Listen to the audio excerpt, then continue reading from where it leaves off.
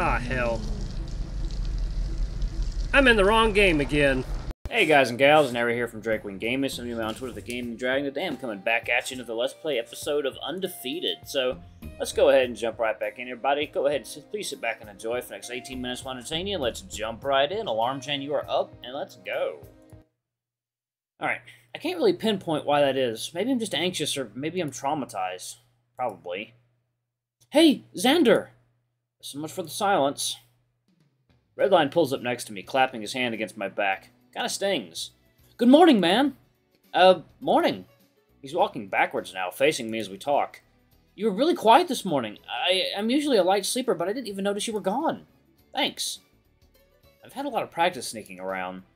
How'd your thing with Drayden go? Are you cleared to fight? Redline narrow, narrowly avoids bumping into a rhino who was intensely focused on his phone. Yep, and you should probably take care of where you're going. Hyena laughs. I've got eyes in the back of my head, Xander. I'm fine. See? Watch this. Oh, Whoa! Redline moves directly into a rather burly kangaroo man, who stands unmoved while Redline stumbles forward. I didn't bother telling him Bucky had been standing in our path for the last 20 seconds or so, next to the open door of a gym room. Bucky smiles. You alright there, Red? Need to watch where you're going, little man. Redline hammers a fist playfully on Bucky's chest. Sorry, but... Sorry, Buck. there you go. The kangaroo's paw moved to ruffle Redline's hair, gently shoving him toward the open door to his left. Go get started on the jump ropes then, Red. They both laugh, and Redline follows the momentum into the gym. Bucky turns back to me. And Xander, good to see you this morning. I nod. I take it I take it you got the go-ahead from Drayden. Yep. He told me to be careful, though. Makes sense. Don't want to go breaking anything else. We'll take it easy today. Get in here and start warming up. I follow suit, moving through the door into the space. One half of the room is wide open, an empty space where people are standing around stretching or talking. There's only a few people in here. That makes sense, considering a lot of folks are probably off having breakfast. Along the back paddled wall are a few bags of various shapes and sizes. Heavy bag, heavy bag, speed bags, all suspended off the ground by chains. At the end of the room is a large mat with a circle on it, clean and empty, waiting for fighters to use it. Seems smaller than the one used in official fights, but big enough to spar in. Of course, Redline is here too, twirling the jump rope up and down around his body like he promised Bucky. A few people had gathered around him, chatting while they stretched. It seems so easy for people like him to just talk with others. I don't understand how he's so quick to make friends, especially at the speed he's jumping rope. Most people would be too focused on their breathing, but he's pacing himself well, from what it looks like. I start my stretching as well, keeping to the corner to focus on myself. That right shoulder really needs this. I can feel my muscles releasing that tension it had been building up since the incident. Alright, boys, let's get it going. Bucky claps his hands a few times and jogs into the space. Everyone stops talking and turns their attention to him. Redline is still jumping rope in place. Bucky slides up next to me, actually, patting me semi-aggressively on the back. You'll see, what, you'll see we got a new guy joining us. This is Xander, everyone. Want to introduce yourself? The eyes turn to me now. Uh, they're all staring hopeful, excited. If not excited, they're at least expecting something. Redline looks excited, but that seems to be his default state. He's really whipping that rope around fast. Right, introductions. Uh, hi, I'm Xander. I've been fighting for a while now. Uh, what more am I supposed to say? I got my that I got my arm broken by the biggest guy in the league. I'd rather not be that. I'd rather not. I'd rather that not be not what I'm known for. What I'm known for here. And they probably already know all about that, so I can't really give them any new information. I guess Bucky can tell I'm floundering as he slaps my back once again with an awkward chuckle. Let's give Xander a warm welcome today, right? He's going to be training with us from now on. I expect everyone to give him the same amount of respect I give you guys, alright? A number of guys nodded at me, saying a few welcoming words.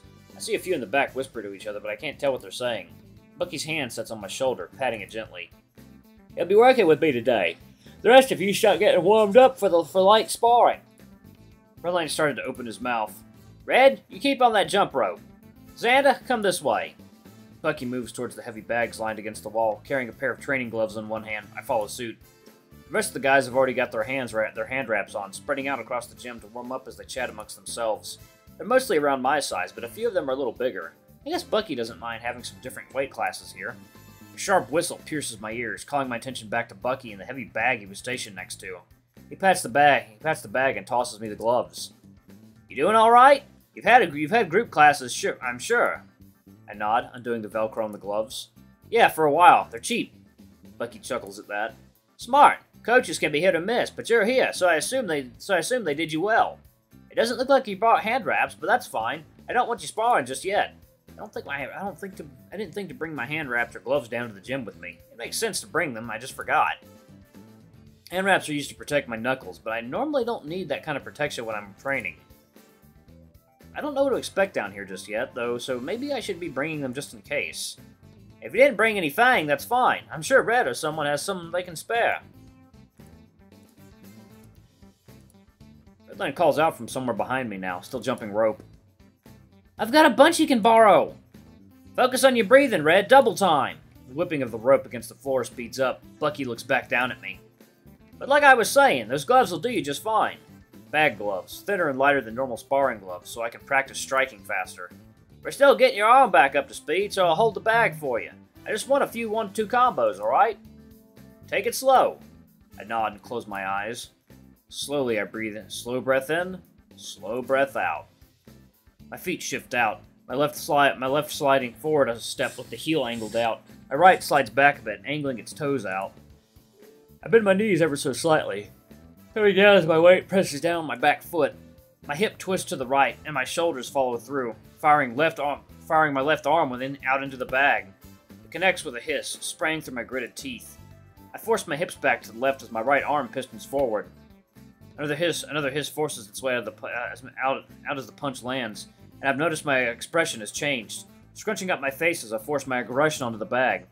Bucky's been bracing himself against the bag, clutching it tight, but even he takes a step back as my punches land.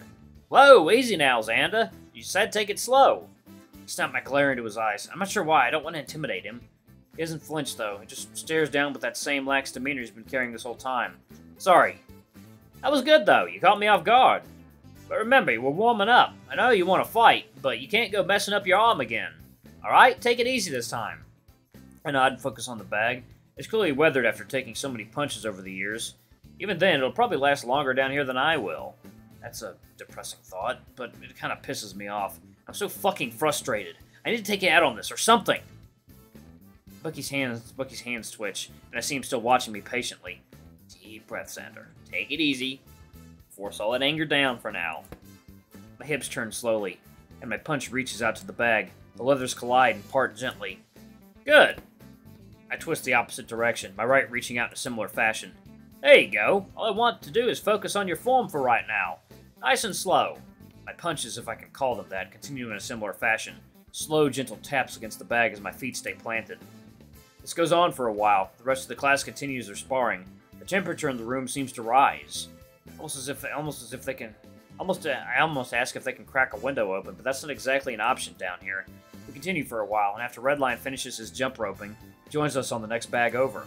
Bucky moves away from me to inspect the other students, correcting their form and physique as they train. They're all moving so fast, swapping partners every so often, laughing as they test each other's techniques. Doing all right, Xander? Red calls over from the other bag, leaning up against it. He's worked he's worked up quite the sweat, but that's to be expected after what he's done so far today. Yep, I just I throw another combo, slow like before, but with a little extra power behind it. That. Can't help but speak flatly with him, at least for now. Everyone else clearly has shown their, prow their prowess in the class. Feels like I'm taking remedial boxing for beginners, as if I haven't been doing this for over a decade now. I look like a fucking idiot. You're doing great! I look back up at Redline. It's probably hard without your full range of motion right now, but it's looking really solid. Keep up the good work. He claps me on the shoulders when he walks past, toward a few people behind me. Thanks. I don't know if you heard that or not. I guess it doesn't matter either way. Class continues like this for a while. The rest of the class moves on to heavier heavier exercises, while I change up the combos on my bag. Redline gets himself into more trouble, but watching him stay quiet and work twice as hard as the rest of us is therapeutic somehow. After a while, Bucky calls for the end of the class. Alright, boys, good work today. Redline is still off to the side, going some pun doing some punishment crunches.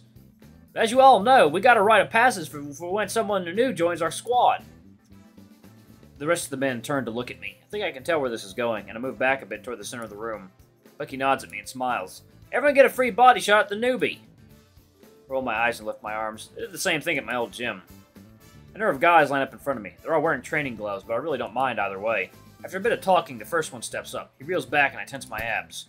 The blow makes contact, slamming against my body as I hiss out. It didn't really hurt as much as I thought it would, though. Though there are a lot of more, a lot more to go.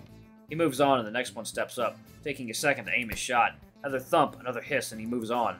Conditioning is important, especially when it comes to taking punches. This almost makes for a good ab exercise, so I can't really complain.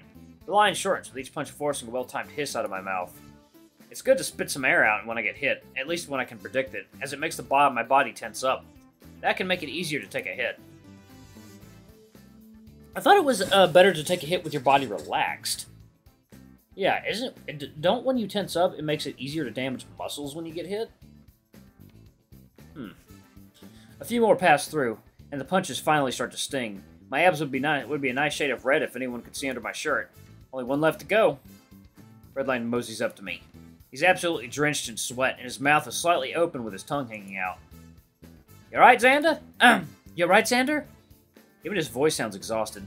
I suppose that's a given, seeing how hard Bucky's worked him today. He still sounds excited, though, but that'll probably never really go away. Hmm. My arms are still up above my head, my body tense in anticipation for the strike. A bit of sweat drips off my elbows onto the floor. Redline wastes no time, shifting into his stance, and in the blink of an eye, his fist finds its mark in the center of my body. Skah! With a heavy thump, I stagger back. Legs quiver before I drop to one knee. Pain resonates up my body, stinging and burning at the center even after his glove departs. Oxygen strains itself through my gritted teeth as I try to drag as I try to drag it back into my control. Redline dropped down as soon as I had, tossing his glove aside to put his hand on my shoulder. Shit, are you okay? My eyes meet his, along with a few of the other guys who had already had their shot. A few are laughing, either among themselves or at me. I can feel my face go hot. First, Bruce embarrasses me in front of everyone twice, and now Redline dropped me and dropped me in my first class. This is fucking humiliating. Get off! I shoved my hand. I shoved my hand. I shoved his hand away from my shoulder, forcing myself upright and backwards. The room goes quiet. All eyes are on me and Redline for a moment. I'm already sweating from the training, but the pressure's got me sweating cold now. Bucky claps hand, his hands together, forcing attention back to him. All right, great stuff today, guys. Go hit the showers. It seems to have fixed it. The men go back to chatting amongst themselves, strapping their gloves and moving toward the door. Make sure you get time on the treadmill sometime before tomorrow. He tries to yell over the sound of them talking, but no one seems to respond to it. I marched toward the door, the sting from the blow still burning in my stomach. Xander, wait! I try to ignore his call, but Bucky sticks an arm out as I pass by him. Hold up, bud. Need my gloves back. I huff a bit of air out. My eyes refuse to connect with his as I tear the gloves off and present them. You right there, Xander? His arm still extended moves to prevent me from my attempt to slide past him. I'm fine. You're not, but you don't have to talk about it now if you don't want to. Go cool down. We can talk some other time. Can't help but exhale a sigh before nodding. Fine. Bucky's arm raises like a barrier gate, and I hurry out of the gym. Since the day I got here, it's been humi- it's been humility and pity day after day, but I'm getting fucking sick of it. Bruce has already made me look stupid twice, and now I had the chance to meet new people, but Redline had to go and fuck that up too. I don't know what else I'm supposed to do. My path back to the stairwell is cut off by a crowd of people headed to the cafeteria. I really can't be bothered to fight my way through that. The only other option is to turn around and use the stairwell at the end of the hall. That one at least gives me easy access to my room. I thought I could handle that stupid punching tradition well enough. I did it. I did it my last gym. I'm not sure why these guys are any different. Well, these are professional fighters. It makes sense that they'll be stronger than the guys I'm used to. And why the hell did Redline have so much power? I didn't think I was too too tired to take to take that, but it still stings. I can't seem to get a win anywhere. It's like this place is out to get me. And now I look like an idiot for leaving the gym in such a such a rush. I can feel I can still feel sweat dripping off my chin. Have I been leaving a trail of down the hallway this whole time? Probably not uncommon down here, but still gross. Passing by the gym, I can't see Redline. That's for the best. I don't want to see him right now. The rest of the hallway is pretty quiet on the same on the way to the stairwell. Everyone's off to lunch, so I've got some time to get a change of clothes and a shower. The closing of the heavy metal door's latch echoes through the space. It's cold and quiet. The chatter from down the hall is completely silenced behind this door. That silence is quickly broken, though. A breathy sigh comes from somewhere above me. My ears flick to aim towards it.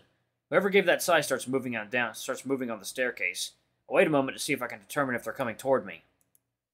It's quiet enough to hear a pin drop, at least enough to hear the sound of my sweat dripping onto the cement floor. It draws my attention for a second. Gross. I guess they're going further away. How far up does this go? I move up the stairwell, keeping my ears out for anyone back there. Looking up, I can't see the end of the staircase. I thought it's very well lit here regardless. I get to the second floor of the stairwell and open up the door. Finally, away from the rest of the people, I take some time to get a fresh change of clothes from my room and head to the showers. Halfway down the second hallway, there's a massive communal shower room opposite the bath, opposite from the bathrooms. There's four rows of showers, each row barriered on either side with a brick wall. Neither one, neither one wall is a bunch of hook. Near one wall is a bunch of hooks and benches for people to keep their clothes on while they wash while they wash up. This place is normally packed, even with a second shower room down on the opposite end of the wall. It's not too bad now that there's no one around, though. These guys can be really annoying, even when people are just trying to wash up. I'll just have to come back more often when it's less crowded. I toss my clothes on the bench and carry my all-in-one body wash into the nearest stall. A crank of the faucet knob and a gush of cold water fires from the shower head. I manage to avoid the initial spray, though I can though I can feel its chill from stray droplets against my fur. I turn the hot water knob as high as it will go, but the temperature doesn't increase much, even after a few minutes. Guess the hot water's all used up. I, I sigh and step into the frigid spray, immediately tensing up as the water strikes my spine. My breathing stutters and my muscles convulse for a second as they're exposed. After a few seconds, my body loosens up. I can breathe slowly and smoothly now. The body wash lathers up nicely. It smells kind of minty, too. The bottle calls it charcoal chill. Charcoal chill. I guess that explains the black coloring. Not sure what it has to do with the mint. Someone enters the shower room. Xander? Christ, I really don't want to talk right now. I sigh. What? Redline moves in front of my shower stall. Are you okay? I can't help but look at him. He has no problem staring at my naked body. Alright, I'm to go ahead and uh, pause it right here. Thank you all so much for watching. Don't forget to like, comment, subscribe, ring that notification bell. Y'all have a wonderful, happy Sunday, and I'll see you on Monday. Bye-bye!